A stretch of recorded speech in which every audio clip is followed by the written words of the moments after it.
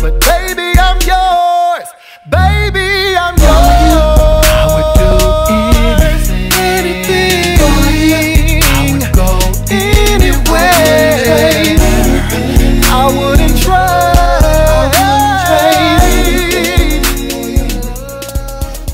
Thank you for joining us today on the Internet's talk show on WatchHollywood.tv. I'm Stephanie Baklaan. Today, I'd like to introduce you to a very, very special guest. I fell in love with him the moment I met him. He is an international recording artist, writer, singer, creator, and advocate for the LGBTQ heritage and culture. Please welcome LaMont Wheat. Yay! I love this guy. How are you? I'm wonderful. Thank you so much for having me. It's great to have this opportunity to share with you. Very nice. Welcome to Hot Hollywood. It's uh, hot today. Finally. Finally, the sun is out. It has been June gloom early in May and up to now, and so it's nice to wake up to blue skies. Uh, Oh. And in addition to the blue skies, we have a little bit of heat. So Yes, we're going to have a heat wave this weekend, everybody. Time to go to the beach.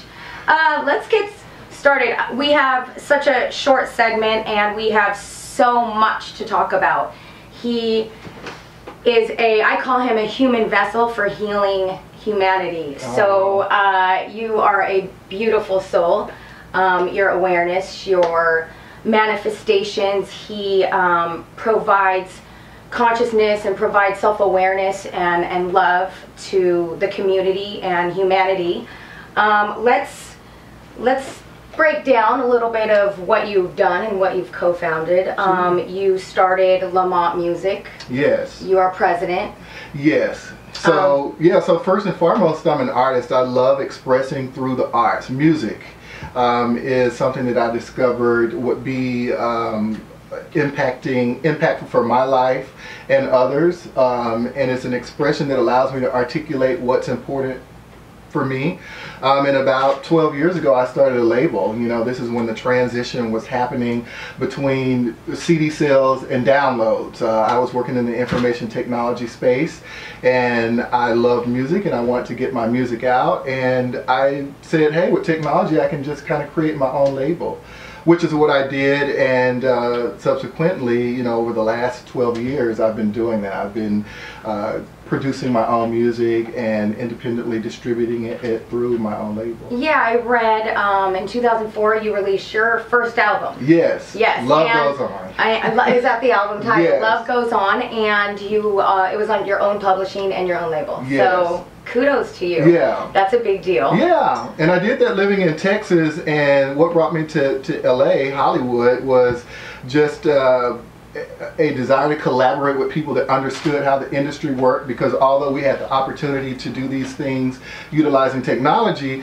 there is still that, that sense of uh, community that really makes your career uh, happen with and for you. You know, the publicists, the managers, the uh, folk who understands how uh, licensing works. Uh, that wasn't uh, available for me uh, when I started my label, and so I really wanted to move out here to collaborate with people who understood that side of the business. And you're still part of and still writing with Roba, right, in Germany, Yes. which is a music publishing company. Yes, I signed with Roba uh, in 2012, and so um, I've been writing uh, all of my music for them. So I get published through their um, through their arm now, which is based in Germany, but also is uh, worldwide. Okay, we will come back. He wrote a song called Still Standing, which we will partially play some of the video and I don't know what he said he's going to sing for us, but we might get a little treat.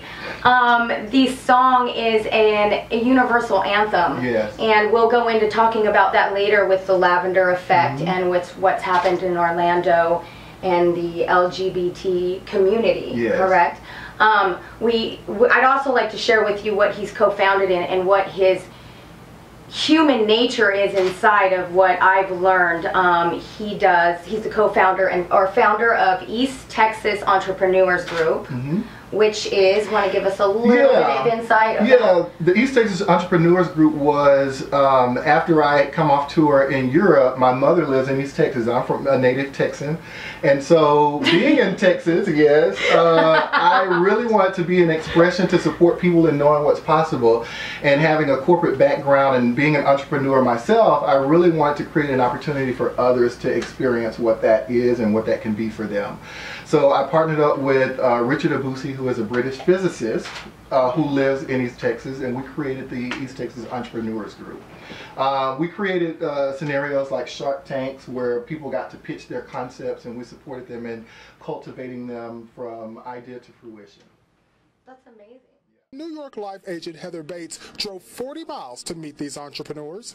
decided to come over to Longview from Tyler. Um, love meeting new people. The more it grows, the more success it will have. The club meets every second Wednesday night. The East Texas Best and the Restore Project is Yes. also. Yes, that's also an expression of, of what I created while being in East Texas. Restore Project pretty much being one that is something that impacts us anywhere in the U.S., but specifically being in East Texas, we restore neglected communities within cities, working with city leadership, the residents in those communities, and other groups.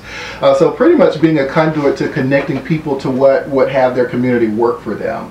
Um, and this is something that we discovered many people want and desire, yet they don't know within the community how to make that happen. And we started Restore Project to restore their uh, own sense of worth within their community, that they see what their community could be through who they see that they are. So where are we at today with that? I mean, uh, what is what is the impact that it's made? What is what is Yeah. the active movement that's happening at this time? Yeah, so um, in the two years of our existence, what we have had are fundraisers that bring the community out, to, that allow them to be a contribution to their community.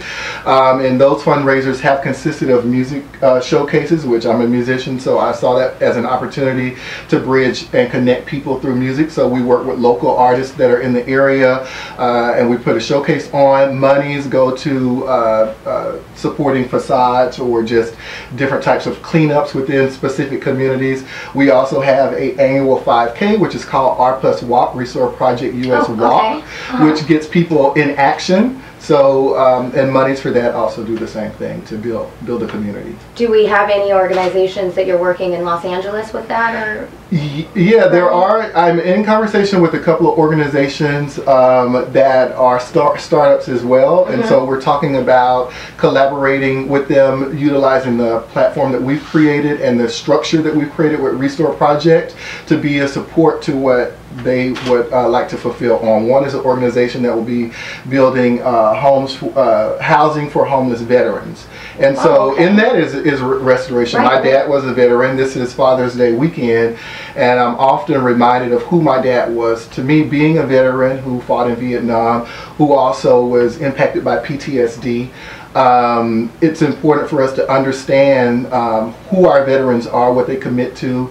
um, and how we can be in service to them when they are integrating back into society. So, um, providing a solution for veterans that have kind of lost their way or who may not know how to integrate and become homeless, I think Restore Project really um, can support other organizations in um, bringing self-awareness to communities of veterans and also supporting veterans in understanding what's possible for them, that they can um, integrate back into society, have a, a place to live, discover what is important to them artistically, and be a contribution in that way.